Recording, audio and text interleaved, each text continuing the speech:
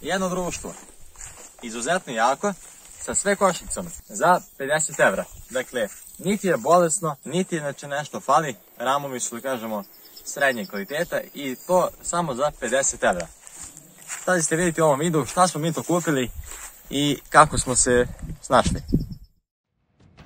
Pozdrav ljudi, evo nas, ne mogu skračiti, da li je tu? Ima se SND. Evo Viko, radi. Kako smo došli danas za...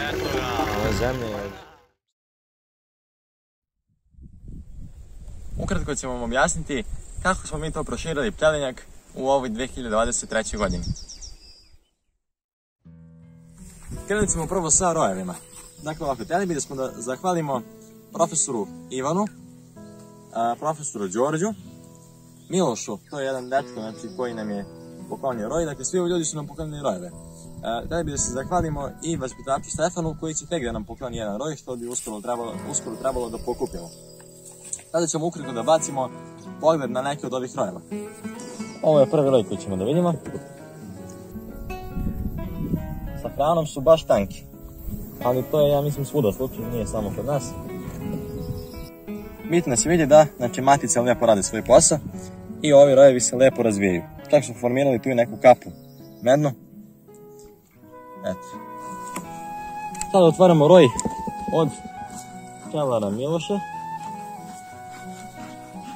Ovo je jedan od jakih rojeva na našem pčelinjaku.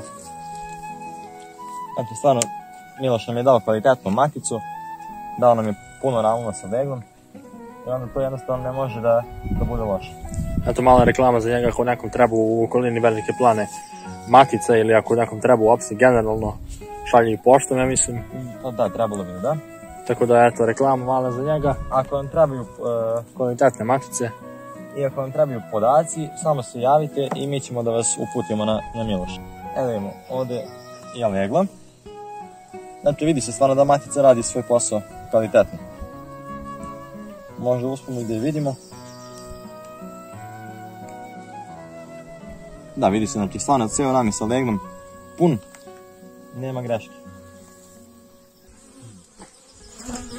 Moj profesor poljoprivredne škole, Ivan, evo, pozdrav ovim putem za njega, mi je uh, jednog dana rekao da uh, jedan čovjek prodaje tako neke, te neke košnice za jako malu cenu, jer je čovjek znači, starijih godina i ovaj, ne, neće više, ne može više se baviti pčelarstvom.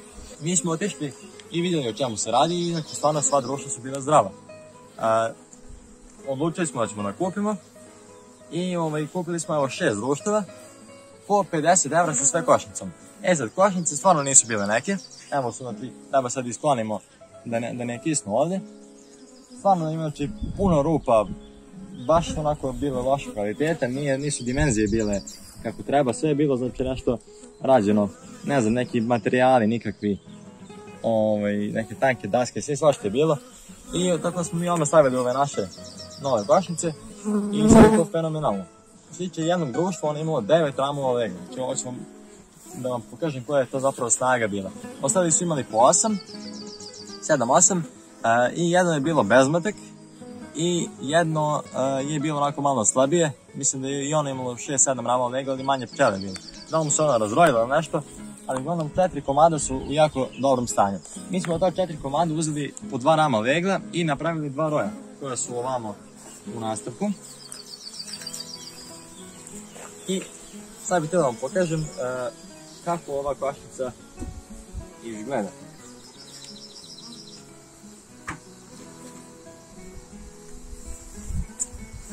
Možemo da vidimo odmah ovaj, da zavirimo u kladište. U, imali smo medište, da li ima nekog unosa. Kod nas je neka livada, da kažem, krenula, sunce pred polako kreće. Iako ga, ovaj, jako on ne medi ovde kod nas, nešto bog zna kako. Ima ga dosta, tako da, ne znam, možda i bude nešto. Ovo je prazno.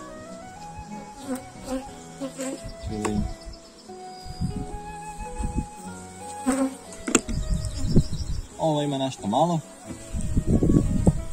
Tako da uglavnom Minutu jednog sata. Osta neću više vidio, znači vidio sam.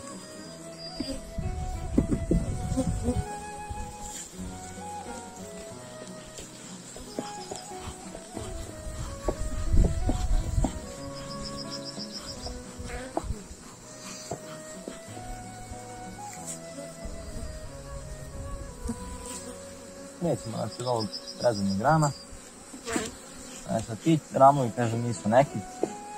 Tako da... Što se tiče saće, saće je bilo onako ocena 1 do 5, možda neka slaba četvorka. Znači bilo je samo stvarno snega i sačinja, ali ovaj, se može da se provere. Nisam rekao da su to bile DB12-ice koje smo mi kupili. Evo vidite, znači ovdje ima ovdje reglo neko malo spomen. Aha. Toliko o tome, evo ušlo u raj vinagon. Iako smo mi vadili tu neke ramove, ona je znači ušla u raj vinagon. Evo, da. To je druga, evo malo prije isto još jedna ušla u raj vinagon. Ta jedna je bila preblokirana polenom, znači u ovom dobu. Tako da, ništa, mi ćemo tu da rušimo matičnjake i da prebacimo ili sam ima sat na osnova gore, da je oslobodim prostor e, matice i da rušim matičnjake konstantno. To će raditi neko vreme, trebalo bi da ona, pošto ima prostora, kažem da smo razvojili, znači nema toliko ni pčele, ali ona vjerojatno već bila ušla u rajvi nagon i sad su samo povukli matičnjake. Vidite, znači lepo, ovaj, jaki su matice, lepo zaležu, povukli matičnjake, evo vidite, ima ih tu par komada, evo ovdje na primjer. Da, vidi se da je ušlo u raj vinaru, znači čim pogledate toliko ima ih, znači mali milion. Evo ovdje na sredini grana. Uglavnom, uh, rušit ćemo matičnjake i uradit ćemo ovako.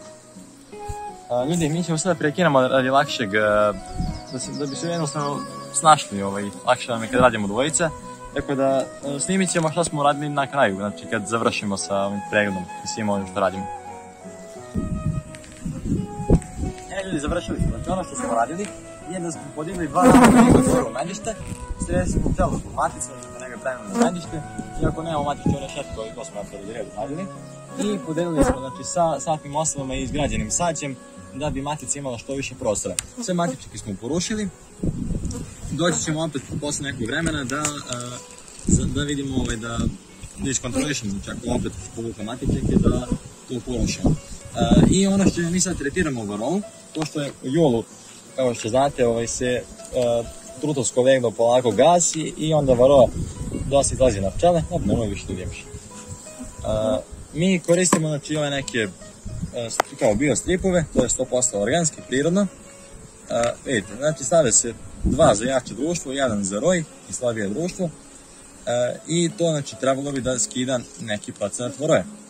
Naš Ja plan samo- je da uradimo, šta se kažeš? Ono što bih ja naglasio, kao apiterapeuti, da su ta prirodna sredstva e, 100% dozvoljena u apiterapiji i da nema uopšte bojazni da sledeće godine će neko moći da se inhalira, na primjer, stekošci ili da se jede med.